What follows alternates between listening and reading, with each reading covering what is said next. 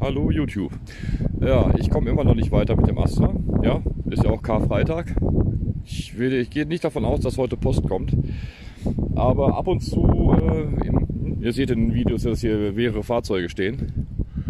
Ich höre mir auch ständig von irgendwelchen Leuten an, dass, äh, ja, äh, hol doch mal einen Schrotthändler. Ja, das wäre ja alles Müll. So.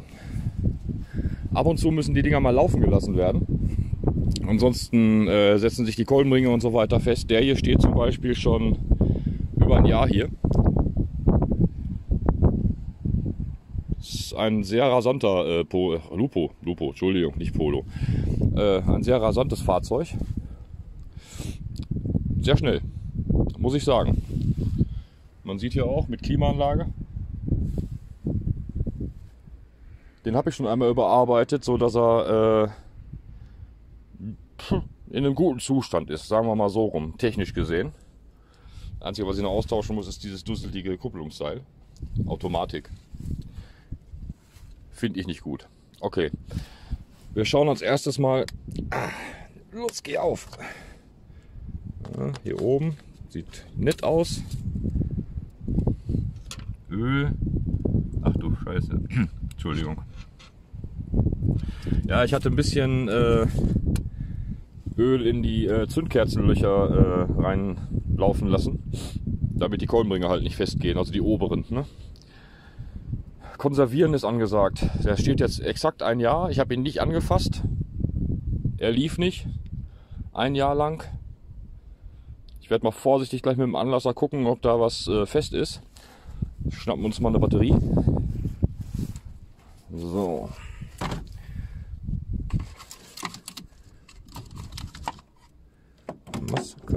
Verstecken. So wieder hinstellen können. So. Ja, erstmal nur provisorisch reinstellen, dass wir die Anschlüsse ansetzen können. Masse zuerst. Kann jeder machen, wie er möchte. Ich mache so. so. Jetzt gucken wir unter die Klappe. Ist noch nicht drauf. Das ist eine nette Erfindung von VW, die einen zum Wahnsinn treibt. Dieses Ding hier oben mit dem Sicherungskasten. So, seit einem Jahr wieder Strom. Ich bin begeistert. So, jetzt schauen wir mal. Der ist wie gesagt noch in Arbeit. Ich bin noch nicht dazu gekommen. Fensterheber etc.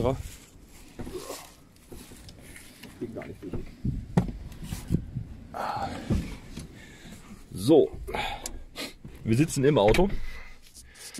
Wie man hier sieht, relativ gute Ausstattung. Eigentlich ziemlich gute Ausstattung. Klimaanlage hat er. CD-Wechsler. Mit dem Radio Beta oben drüber. Original noch. So, was haben wir hier? Moment. Die Originalkilometer. 90.482 Kilometer. Ich habe den Wagen damals für 150 Euro gekauft, weil äh, die Katalysatorspinner an dem Auto dran waren. Muss ich nichts zu sagen, ne? Ich habe einen Nachbaucut drunter gebaut. Handbremse nie anziehen, wenn ihr ein Auto länger stehen lässt, ne? Ganz wichtig. So. Oh.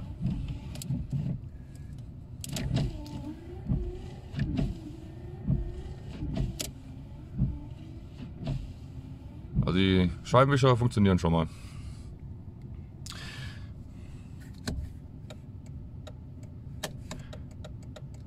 Da fehlt ein Blinker. Lüftung aus. Ah ja. Ja, er dreht. Seit einem Jahr. Kein Fake, kein Betrug. Ich habe keine Zeit gehabt für das Auto. Das Auto ist komplett eingesunken im Boden. Er klackert noch ein bisschen.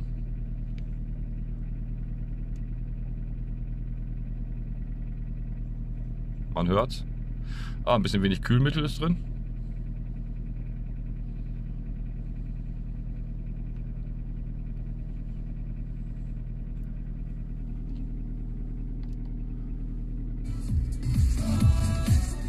Ja, das geht auch noch. Finde ich gut. Ja,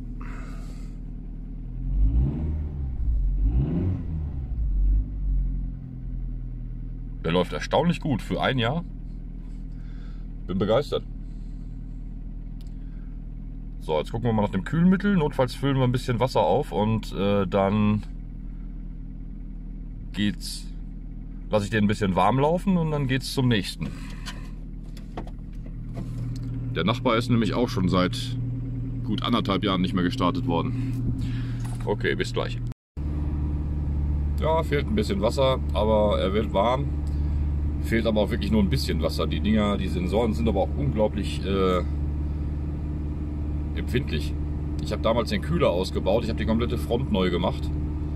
Wegen dem Parkrempler, aber der Lupo hat leider vorne ein komplettes, ähm, na wie heißt es, eine komplette Frontmaske mit Kühlern und allem drum und dran. In dem Fall sogar mit Klimakühler und so weiter. Und das musste ich alles rausnehmen und äh, ja, fehlt noch ein bisschen Wasser.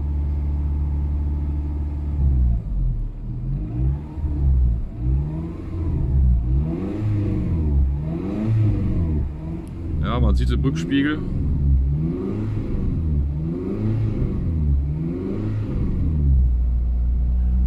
Sehr hoch kann man ihn natürlich jetzt nicht drehen mit der äh, Ölfüllung. Das muss äh, gemacht werden. Sprit hat er auch bald keinen mehr. Der ist auch schon über ein Jahr alt. Ja.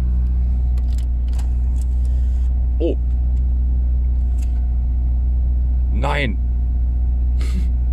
okay, das ist nicht meine, wirklich nicht. Das ist nicht meine, wirklich nicht. Ernsthaft. Ich höre keinen Modern Talking, das war hier noch drin. Ja. Nö.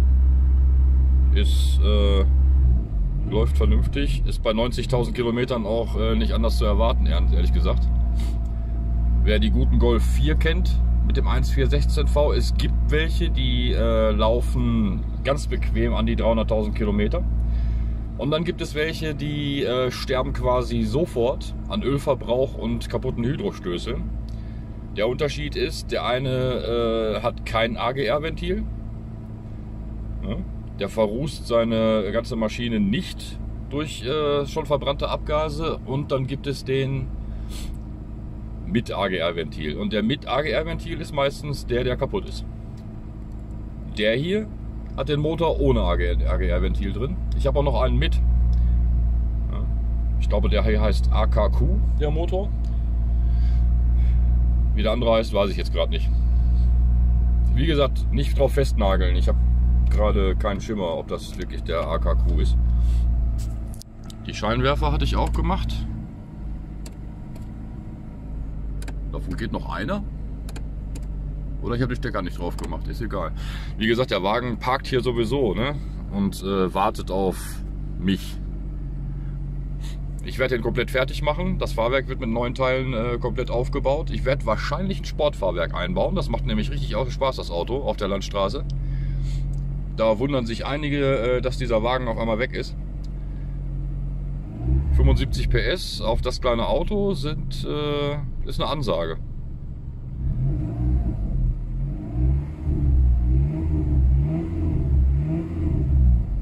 Ja.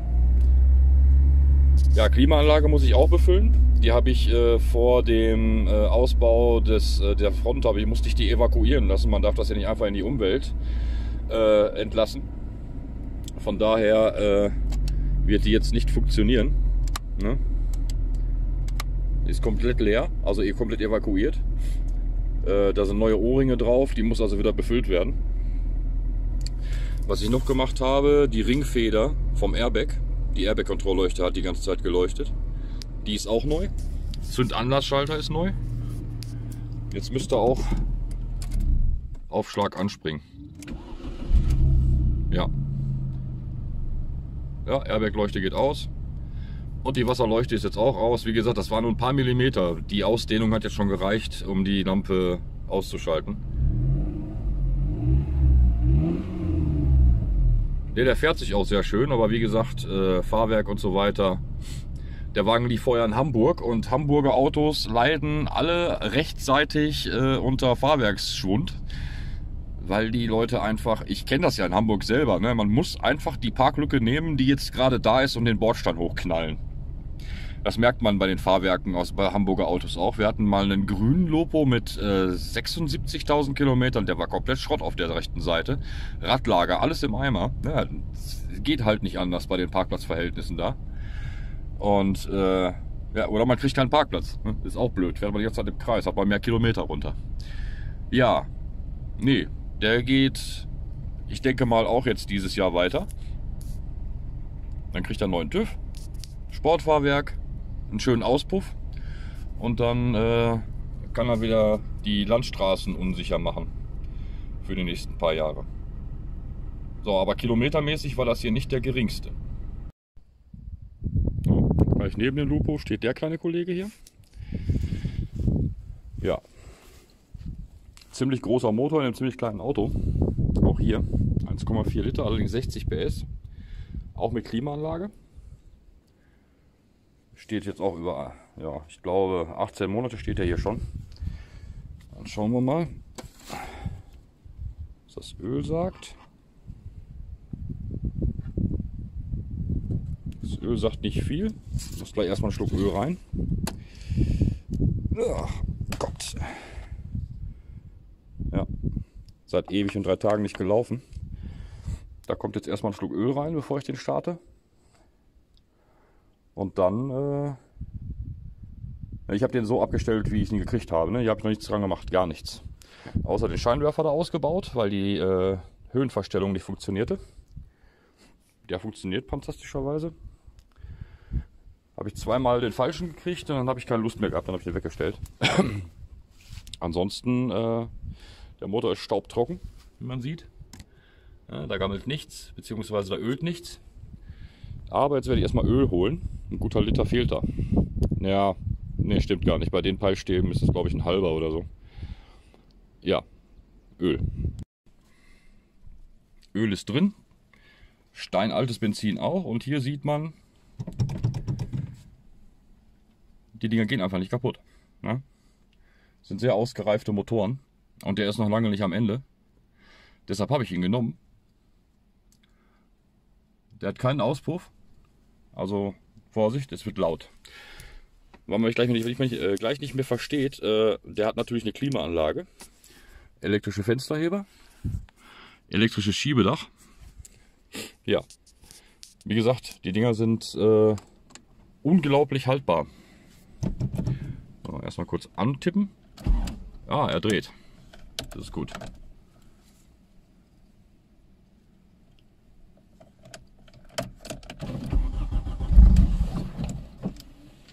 Scheibenwischer gehen auch. Ah, ist müde. Ich werde jetzt kein Gas geben.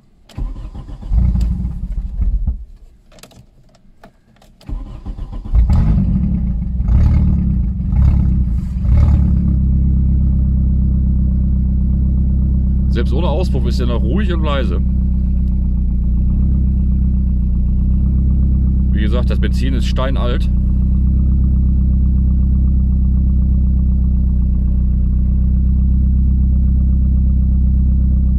ohne Auspuff hört man auch sehr gut, dass der Wagen sauber im Takt läuft.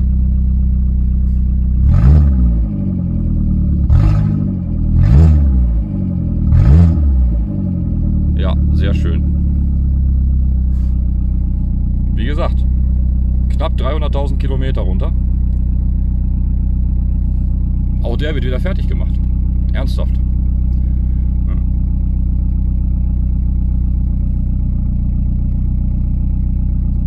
Schöner Lauf. Ich werde jetzt mal die Heizung anmachen, dass er hier drin mal ein bisschen warm wird.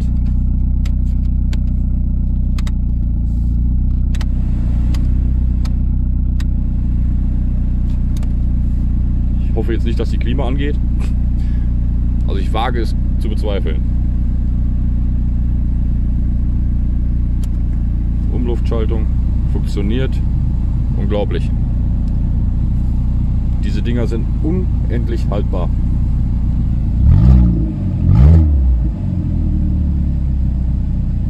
Wie gesagt, der steht anderthalb Jahre. Ne?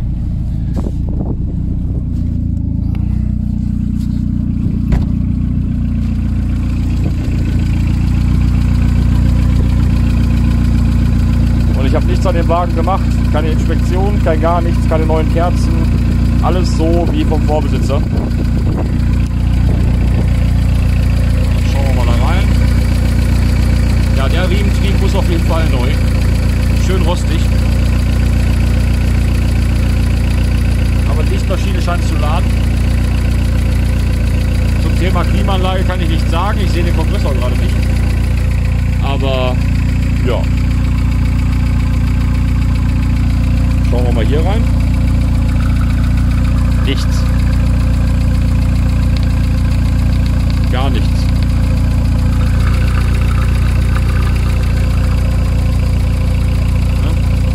Der Motor ist kerngesund. Nach knapp 300.000 Kilometern. Und wenn ich dann auf dem Schrottplatz äh, diese Autos sehe mit äh, 100, 110.000 Kilometern, weil die ja schon bald kaputt sind, dann platzt mir der Kragen.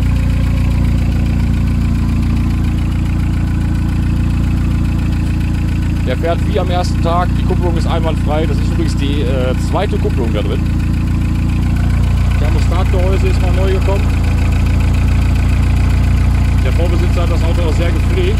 Seine Schwester ist das Auto gefahren. Und äh, er hat immer darauf geachtet, dass der Wagen am Laufen blieb. Die, lief, die, die lebte nämlich auch äh, irgendwo am Ende der Welt auf dem Land. Da braucht man Fahrzeuge, die vernünftig funktionieren. Der da ist mal neu gekommen. Scheibenwischermotor, Scheibenwischergestänge ist mal neu gekommen. Kupplung ist in Ordnung. Also wie gesagt, bisschen Pflege und man kann die Dinger bequem 30 Jahre fahren. Auch hier das Thema Nachhaltigkeit. Also wie gesagt, der geht wieder auf die Straße. Der hat so gut wie nichts. Ne? Hier und da ein paar äh, Stellen, aber das ist ja nun wirklich kein Grund, ein Auto wegzuschmeißen. Hier ist eine kleine Delle vom Schieben. Aber ansonsten hat er nichts. Okay, ab zum nächsten. So, jetzt ist er schön warm. Hier drin ist es auch schön warm. Heizung funktioniert auch super. Mal Tür zumachen. So.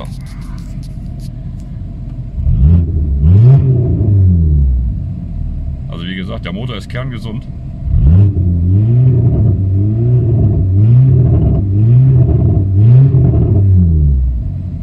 Immer ganz schön, wenn man äh, Fahrzeuge dieser äh, Modellreihe hat. Dem hier ging es auch nicht anders. Äh, wenn ihr solche Autos äh, annonciert, seid euch bewusst, das Auto an sich ist für Leute erstmal grundsätzlich wertlos. Viele Leute sind sich komplett zu schade, sich in so ein Auto zu setzen, wobei das eigentlich das ideale Stadtauto ist. Gerade hier die Arosa oder Lupo mit dem 1-Liter-Motor.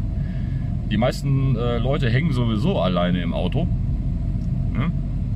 Und pendeln. Da passt auch Einkauf rein, da passen auch notfalls vier Leute rein, ist auch kein Problem. Und äh, ja, manche Leute sind sich einfach so schade und möchten gerne mit einem SUV in die Stadt fahren. Da kann ich hier und da den einen oder anderen Umweltschützer äh, verstehen. Das muss wirklich nicht sein. Wenn man täglich in die Stadt fährt, reicht so ein Lupo oder Arosa vollkommen aus. Ist ein sehr kurzes Auto, Parkplätze, wenig äh, Verbrauch. Selbst die Benziner fährt man mit 5 Litern, wenn man vernünftig fährt. Und äh, ja, ne? diese Autos sind quasi unverkäuflich. Solche Interessenten, die da auftauchen, gebt denen nicht die Adresse, trefft euch an einem neutralen Ort. Die klauen euch die Dinger da raus. Dem hier ging es auch so. Dem, deswegen habe ich den genommen. Für einen Hunderter. Äh, ja. Erstmal grundsätzlich, die Technik ist einwandfrei bei dem Auto und äh, Ersatzcut kostet nicht viel. Alles so Sachen, die ich noch äh, in Angriff nehmen werde bei dem Auto.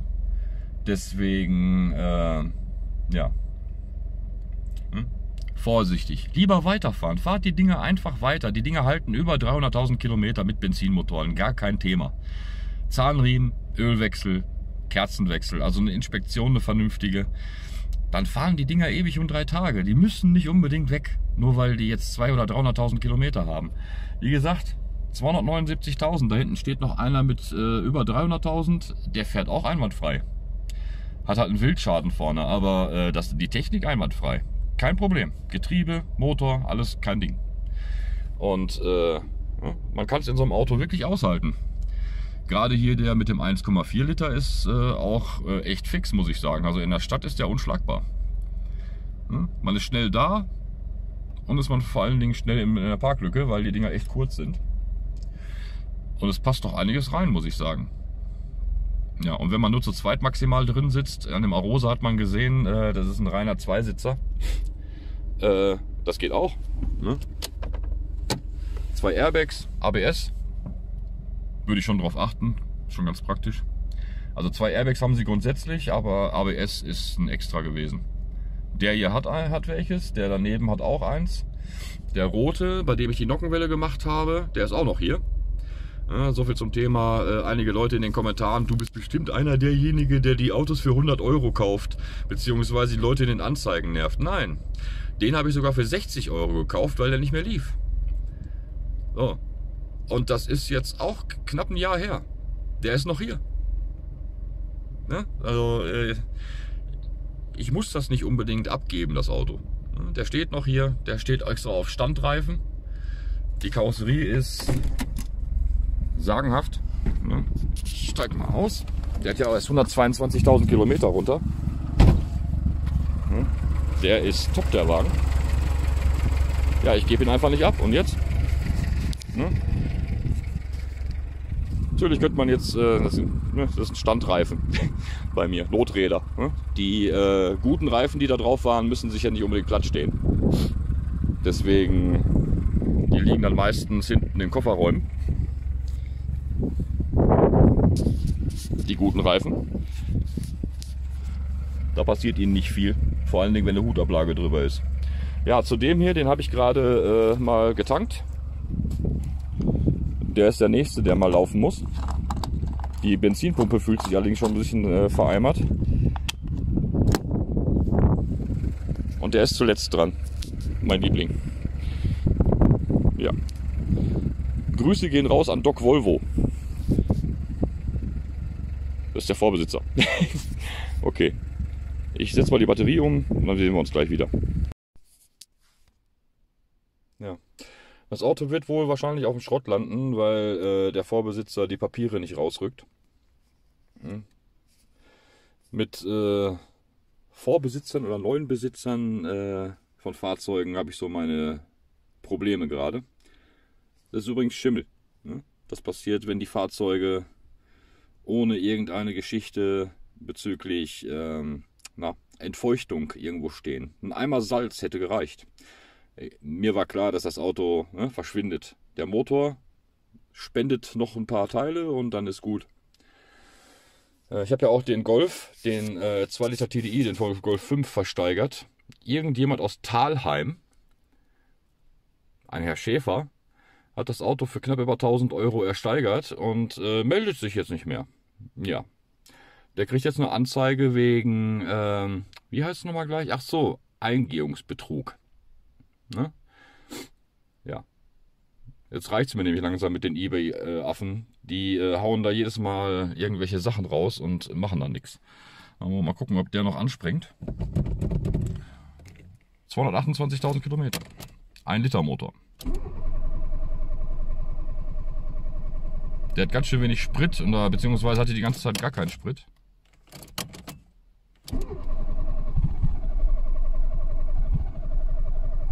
Schauen wir mal.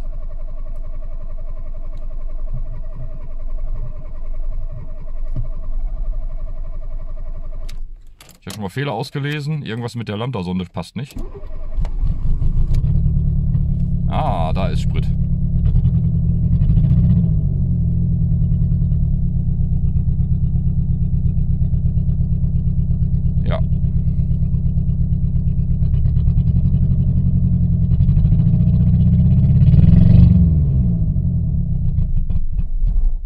Oh je.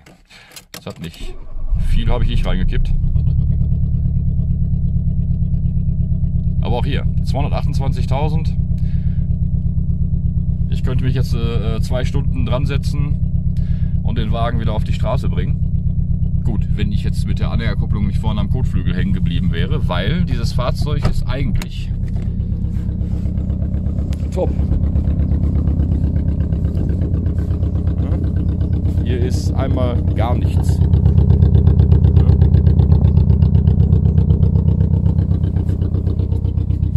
Aber manche Leute, äh, ja, ich weiß nicht, warum die das machen. Äh, warum die bei eBay Autos für 1000 Euro ersteigern, sich dann nicht mehr melden, das ist äh, ein verpflichtender Vertrag.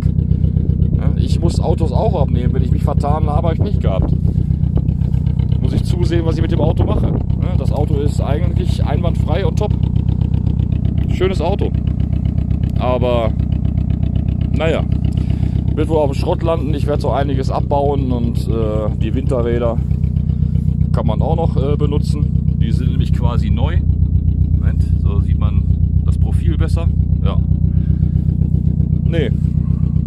Wie gehabt, immer Ärger mit Ebay. Ah ja, Fehlzündung. Ja, das, äh, ich mach mal lieber aus, bevor das Sprit gleich ganz weg ist. Das mag er ja so gar nicht. Nee, Moment, da kommt noch ein Zylinder dazu. Und da kommt Check Engine. Mal gucken, ob alle vier Zylinder irgendwann mal laufen. Die Zündkerzen sind nämlich am Ende.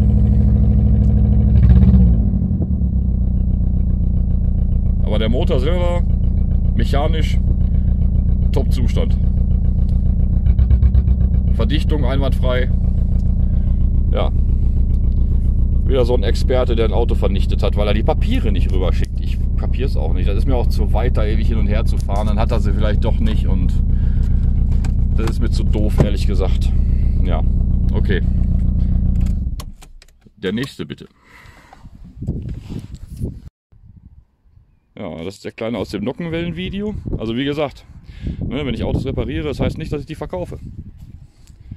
Wenn mir die Leute zu blöd sind, die hier ankommen, ich habe nämlich so überhaupt keine Lust auf Alpha Kevins, wo der Vater meint, äh, du brauchst so ein Auto und äh, Kevin meint, jo, mache ich dann sofort kaputt und dann kriege ich ein anderes. Nee. Ich würg mich mal da rein. Ich habe wieder total super geparkt hier.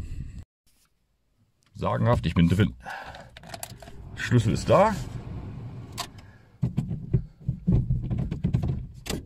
Oh Gott, ich habe die Handbremse angezogen gehabt. Gott, bin ich blöd. ABS hat er auch.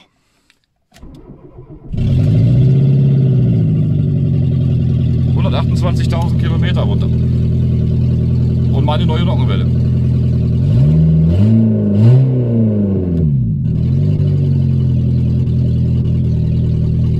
Kann noch ewig fahren. Ja. Der ist auch nicht verschimmelt. Den lüfte ich regelmäßig zuletzt angemeldet gewesen war der hm. hier ist keine Abmelde, kein Abmeldestempel drauf. Ist er noch angemeldet? Oh Gott. Fahrzeugschein. Ah, 2018.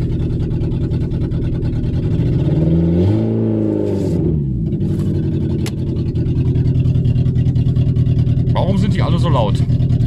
Ja, wie gesagt, ich kaufe auch äh, Autos von Katalysator-Idioten,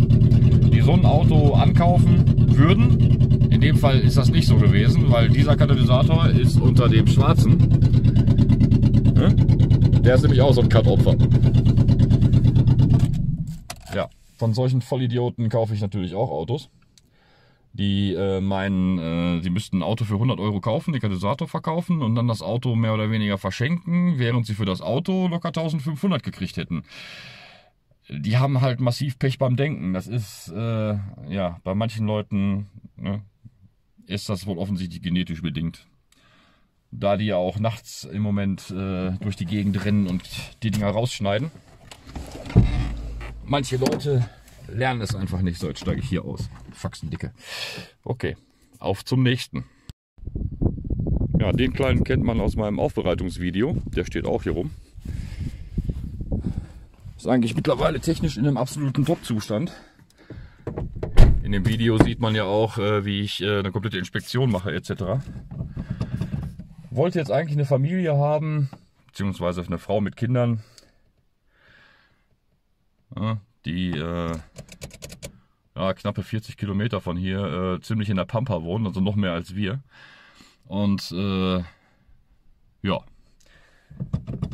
Dann meinte äh, ein Onkel von denen, meinte dann, nee, 160.000 Kilometer, der ist in Kürze kaputt. Mittlerweile habe ich mir angewöhnt, nicht mehr zu explodieren und die Leute vom Hof zu schmeißen, aber äh, ich bin dann mal weggegangen. Mit solchen Idioten unterhalte ich mich gar nicht erst. Ihr habt gerade gesehen, wie äh, lange solche Autos, wie lange solche Motoren funktionieren. 160.000 ist nichts. So, mal gucken, ob er anspringt.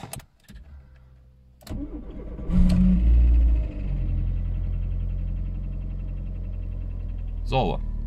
Zack, Öldruck, klappern weg. Perfekt. Wie ein Neuwagen.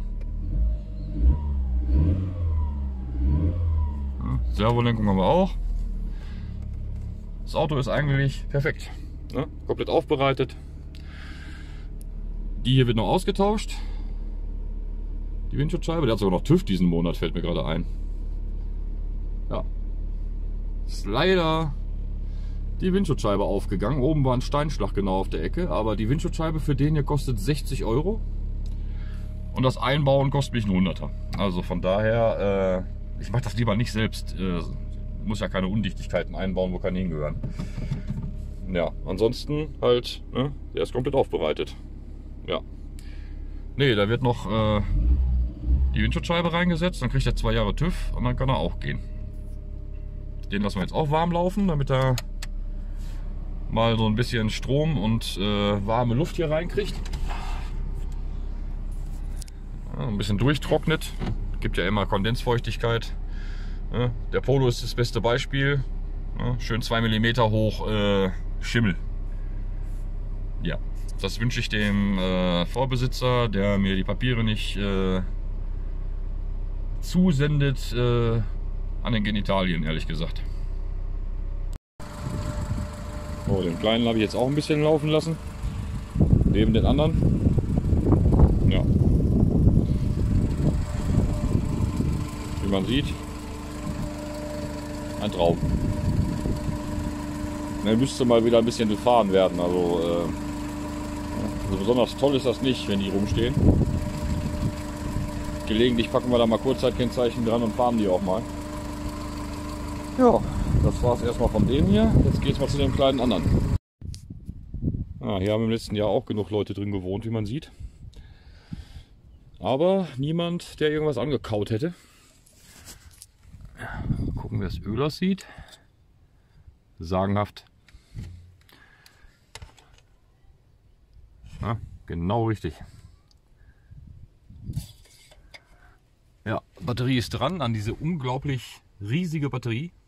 Das ist ein Renault 5 Campus. Genau von 87. Der Motor hat nichts runter. Ja, Moment mal. Durchwühlen. Ah ja, Fingernagelbrecher. Türgriffe. Mein Kater ruft. Was denn? Das ist nicht dein Reifen. Doch. Naja. Ja. Er ruft seinen Bruder. Ja. Doch. Doch, du rufst deinen Bruder. Kann endlose Diskussionen mit dem Kater führen. Oh Gott. Kleinwagen.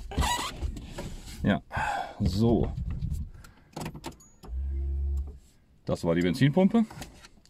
Auch der ist saulaut.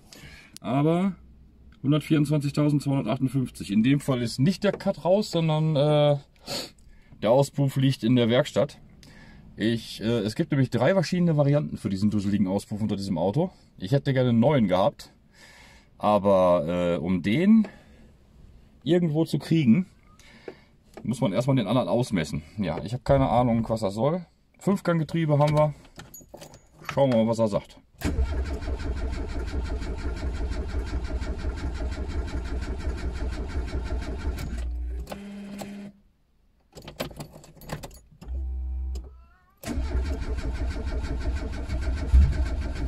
Ja.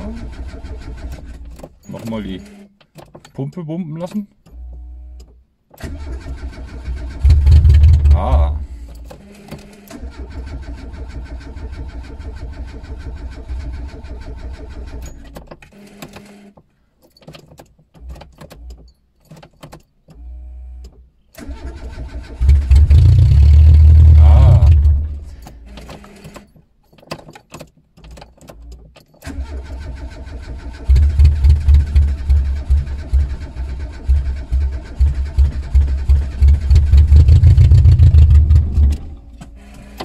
Mamma mia.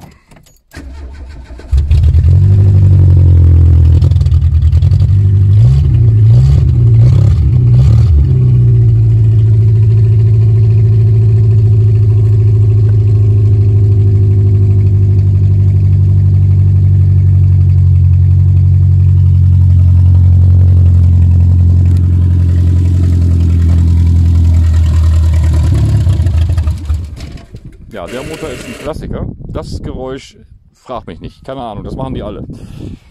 Ähm, ja, der Sprit wird alles sein. Ja, der Motor mit der außenliegenden Wasserpumpe, da sagt Renault selbst, ne, Werkstattanweisung, der ist ein Kettenmotor. Äh, bei 300.000 Kilometer soll man die Kette bitte sicht prüfen. Und wenn alles in Ordnung ist, kann es weitergehen. Das ist äh, ein eiserner Motor, wahrhaftig. Vor allen Dingen außen, außenliegende Wasserpumpe, äh, ein Traum für jeden Schrauber. Ja, okay. Dann, äh, ne, ich werde jetzt keinen Sprit hier reinpacken. Mal schauen. Ja. Ansonsten fällt mir jetzt gerade nichts ein. Ich werde jetzt alle Autos nochmal durchgehen. Die hinteren sind eh Schlachter, also von daher, da fährt nicht mehr viel, beziehungsweise läuft nicht mehr viel. Und wollen wir mal weiter sehen, äh, wie das mit dem Wochenende so läuft, wie das mit dem Ostern so läuft. Überall Lockdown, überall Ausgangssperren. Die Hamburger überfluten uns hier gerade. Die sind alle geflohen aus Hamburg, stehen jetzt hier an der Elbe und werden geduldet. Gehen sich ja nicht gegenseitig auf die Nerven. Und äh, ja, im Moment ist das ganze, äh, die ganze Corona-Geschichte erinnert mich so ein bisschen an eine schlecht geführte Pommesbude. Ich, das ist ziemlich chaotisch. Ne? Ich bin eigentlich, ich also nicht nur eigentlich, ich bin völlig unpolitisch. Ne? Mir ist das ziemlich egal, wer was wo. Ne? Von mir aus soll jeder leben, wie er möchte. Und äh, mir geht das gerade nur ein bisschen auf die Nerven, dass äh, gerade äh, die Leute, die wenig verdienen, komplett im Stich gelassen werden. Ne, Ich kenne einen Tätowierer, der hat seine Novemberhilfen immer noch nicht. Alle kleinen Unternehmer, die kriegen nichts. Aber Lufthansa, müssen wir nicht drüber sprechen, ne? Große Unternehmen werden gepampert, die kleinen Unternehmen gehen durch. Das ist äh, genau die gleiche Geschichte äh, wie überall. Ich hatte ja schon mal erwähnt, ne? wer Dienstleister ist in Deutschland, hat verloren. In Bezug auf Lohn und äh, Ansehen. Und äh, exakt genau so ist das auch äh, bei den Corona-Hilfen. Die großen Unternehmen werden äh, gepampert und geschützt und äh, die kleinen kriegen nichts. Und wenn sie dann äh, pleite gehen, bis man diese, äh, diese, diese, dieses Hartz-IV-ähnliche äh, Geld bekommt, wir haben auch äh, Musiker in der Bekanntschaft, das reicht, das ist reichlich Zeit, die da vergeht. Ne? Also da kommt eigentlich gar nichts. Ja, das ist, wie gesagt, ich bin völlig unpolitisch und ich sehe auch keine Partei, die das irgendwie anders machen würde.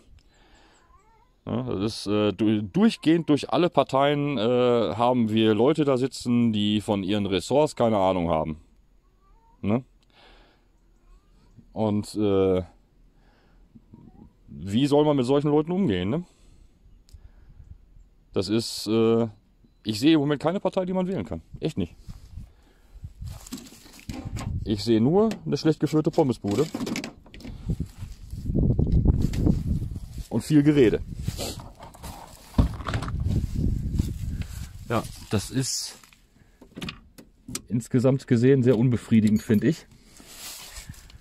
Ja, ich denke, ich mache das Video jetzt mal fertig. Und äh, werden wir weiter sehen, was morgen noch so anliegt. Liegt immer genug an. Ich wünsche noch einen angenehmen, heißt das K-Samstag? Glaub schon, ne? Okay, bis zum nächsten Mal.